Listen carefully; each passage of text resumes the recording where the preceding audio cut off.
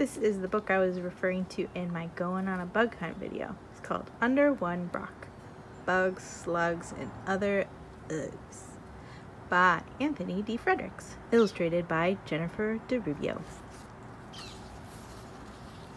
Here is a field for insects to play in, and acres of shade for turtles to lay in, with wind-brushed trees for birds to nest in, and sun-splashed spaces for lizards to rest in. This is where, on this summer day, there lay a rock all rough and gray. Can you find the rock?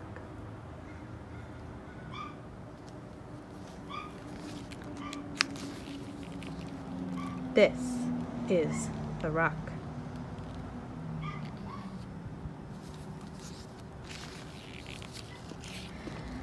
The rough gray rock was discovered by chance by a brown-skinned boy in ragged pants, a curious lad who wondered aloud what could be hiding in this red, rich ground.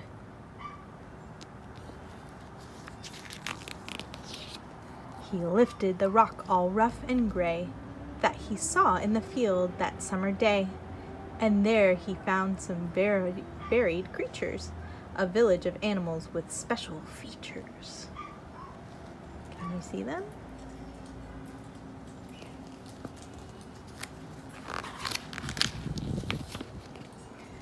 These are the earthworms, all squiggly and round, who aerate the soil in the red, rich ground.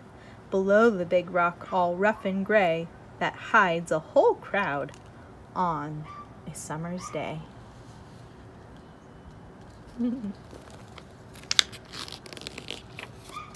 this is the army of hundreds of ants who dig twisting tunnels and farm tiny plants. Neighbors to earthworms, all squiggly and round, who aerate the soil in the red, rich ground. Below the big rock, all rough and gray, that hides a whole crowd on a summer's day.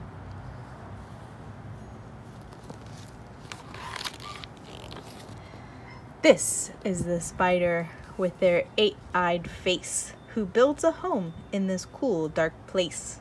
A home near the army of hundreds of ants who dig twisting tunnels of farm tiny plants. Neighbors to earthworms all squiggly and round, who aerate the soil in the red rich ground. Below the big rock, all rough and gray, that hides a whole crowd on a summer's day.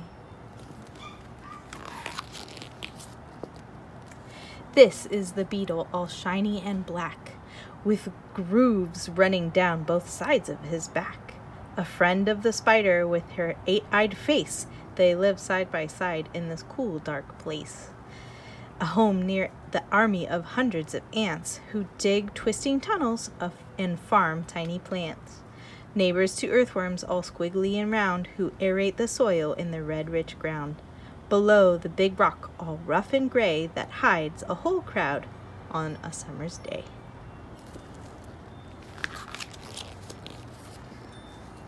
Some tiny field crickets who sing with their feet search near the rock for some seeds they can eat.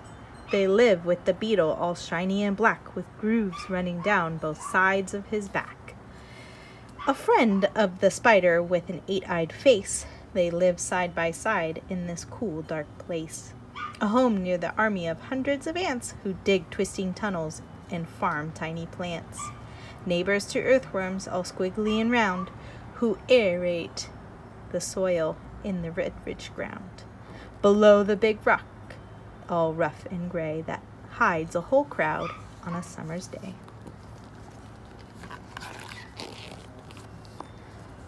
A sole millipede with a sensitive feel slips through the dirt in search of a meal. He plows by the crickets who sing with their feet and search near the rock for some seeds they can eat. They live with the beetle all shiny and black, with grooves running down both sides of his back. He's a friend of the spider with her eight-eyed face. They live side by side in this cool dark place.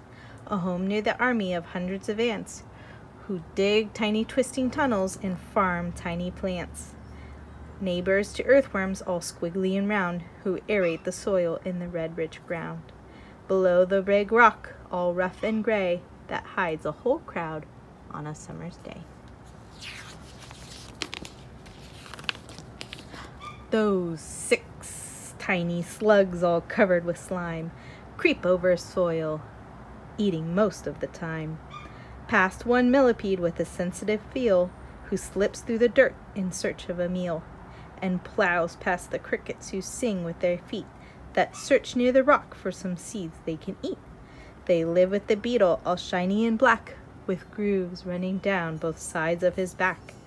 His friend of the he's a friend of the spider with her eight-eyed face. They live side by side in this cool dark place, a home near the army of hundreds of ants who dig twisting tunnels and farm tiny plants. Neighbors to earthworms all squiggly and round, who aerate the soil in the red rich ground. Below the big rock all rough and gray that hides a whole crowd on a summer's day. The creatures and critters live together as one, beneath the gray rock away from the sun, a collection of neighbors, a large and the small, and the place where they live is home to them all. And here is the field notes. It says, Spiders, slugs, ants, and other creatures in this book can be found throughout the world. The specific species described and illustrated in this book are all native to North America. Their habitat, like any other animal's ha habitats, offers a fascinating look at how various ecosystems, food chains, and food webs work. So, we looked at the earthworm. There was a fantastic fact that says the largest species of earthworm live in Australia. They often grow to lengths of nine feet or more. That's like five little owls tied together. That's pretty tall. This one is the ant.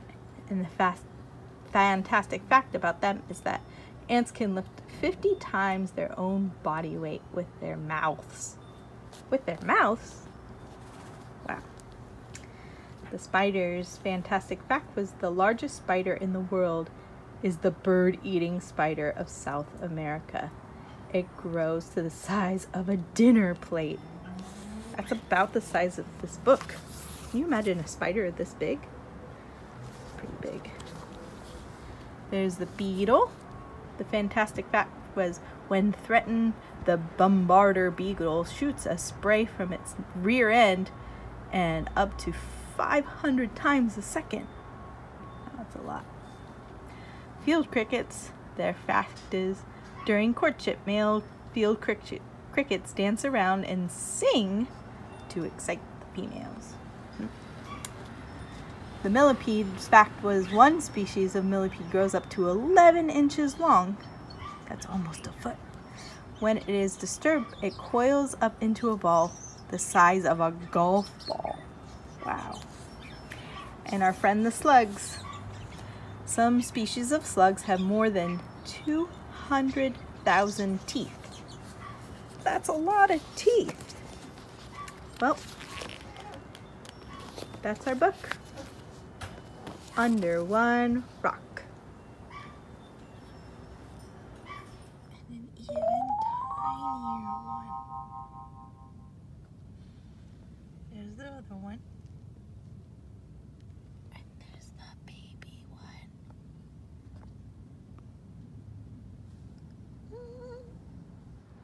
I was recording that book under this tree, the citrus tree that we have in our yard.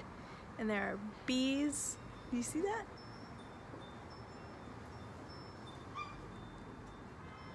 Just enjoying all the blossoms. Just like the blossoms that are happening at Little Owl on our citrus trees right now. So I thought I'd bring a little bit of our school to you guys from my home. Hope you enjoyed it.